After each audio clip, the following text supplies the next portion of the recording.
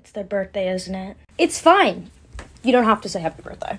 But you could say this. Happy fucking birthday, I hope it really sucks.